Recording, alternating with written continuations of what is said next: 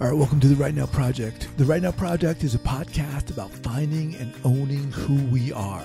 It's about learning to trust ourselves, finally. It's about learning to trust our guts. It's about uncovering our authenticity and allowing who we are to soar.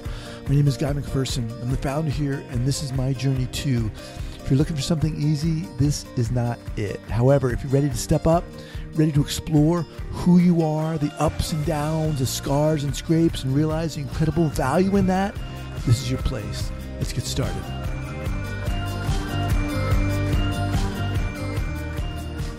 You know, it's funny talking about the healing process and the healing journey.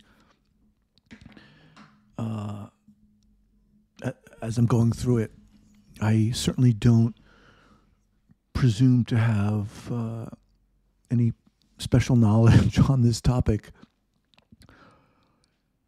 What I've noticed for myself, you know, when all this went down,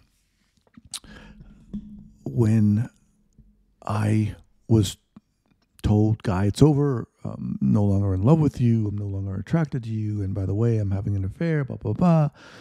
Want to be out of this marriage. When all that went down,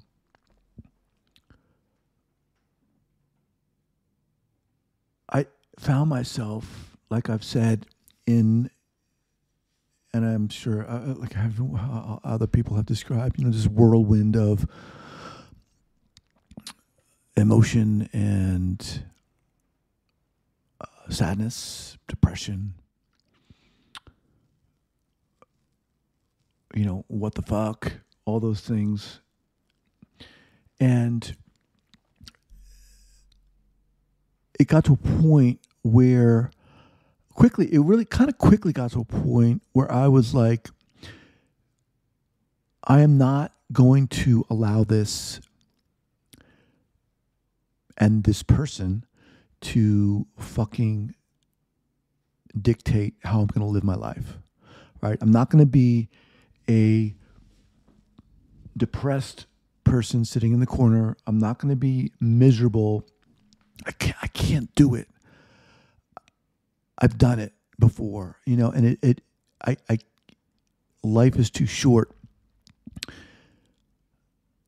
And I remember I started getting up real early.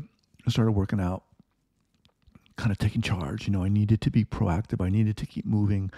I needed to do something for me, for my life, to keep con- not so much control over, but to help me define the, a, a particular quality of life that I wanted. All the while, uh, we were living together for about four or five months, and it was very uncomfortable and very awkward. And we've got two young kids, and managing that. You know, talking to friends really helped. I remember I saw a therapist or over the phone, rather over the Zoom, whatever it was. Didn't really help. Um, it, it just that particular therapist was not a good fit for me. I remember talking to a life coach who was really good, but I, uh, you know, I saw that person for three or four times. I, I told you about my divorce coach who I saw that really helped.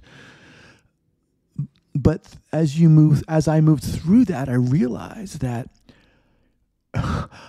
I've got to I've got to take control of this whole situation. And that's not a easy place to be in a lot of times because it's it's it's more comforting sometimes to lock yourself into a healing path. Oh, let me go with that person and they're going to help me and guide me. Or let me go with this group and they're going to help me and guide me and and so forth. And maybe that'll work for some people. But what I what I found I needed to do was to take control of my own situation. Now, look, I realize if you're listening to this, you've got your own situation. Everybody's is different to a certain degree. And mine has been defined by the convergence of my marriage for the last 15 years, what I'm doing for my, my, my work, you know, all the, the, the threads of one's life form the, the context, right? but I said to myself, I need to take control. And for me, that meant starting to really be aware of my thoughts, my beliefs, my actions. And there were there would be times, of course, where you know, you would go down that path of how the fuck did this happen? How could this person, you know, quote unquote, do this to me?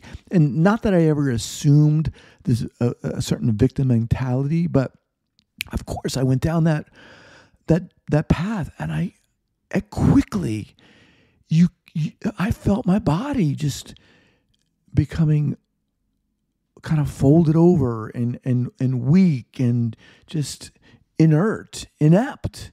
I was like, what? I no, I can't do that. But it's hard, you know, being aware of what the hell you're doing from day to day is friggin' hard. Um, and yet, you know, I started doing a lot of reading about just increasing my awareness and looking at my beliefs this whole experience. You know, I think last, and I've previously said this, but last week I think I likened it to just being smacked in the head with a two by four. And that experience just does a number of things, right? It just fucks you up, but it also can wake you up. And I've I've tried to use it. I mean, it, it, it's not I've tried to use it. It has it's made me realize and question all these things. Who am I? What am I doing? What am I doing with my life? Am I what kind of a parent I am? How the fuck did this happen? How did I let this happen? Did I let this happen? To what degree am I responsible for the way this went down? Right? And and I am and as I say that, I'm not saying that I am not responsible at all for any of this. I am. I realize I am but not for what my ex has done. I'm not responsible for that at all, right? But I am responsible for how I move forward and how I per- perceive this and interpret this. And man, it's been an eye opening experience for me. But it's, I think today what I wanted to say is, you know, I feel I have a very, I'm a generally very positive person, right? I'm very, let's fucking do this.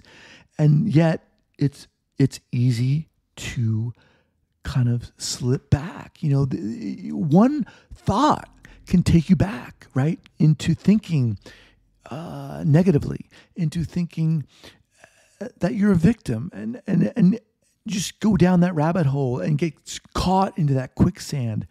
And I think it's very natural. It's normal, right? Most of us are not robots. I'm certainly not. But we have to go easy on ourselves. But I think we also have to, as we move through a process like this, uh, you have to you, look. I I, I have to speak just personally. I feel like I have to assume responsibility for my own shit and how I'm moving forward, and and how I'm stepping one foot in front of the other, right? And just like in meditation, when you find yourself wavering off, bring yourself back, bring your focus back, right? Because as they say, where you place your focus is where you place your energy. And if you're going to be placing your energy and placing your focus on all of the negative stuff that went down, that's where all your energy is going to be going. And having said that, I realize, right, you've got to to a certain degree you've got to you've got to think about that stuff to a certain degree but to a certain degree and to a limited degree and move forward. And you know I'm, I'm really i feel i'm really beginning to get excited about my future. And i don't know what it's going to look like. I have some ideas i have some plans um but i'm i'm getting there. I'm getting there. And I think that's a major step for me. Um, and that's what I wanted to say. All right. Have an awesome weekend.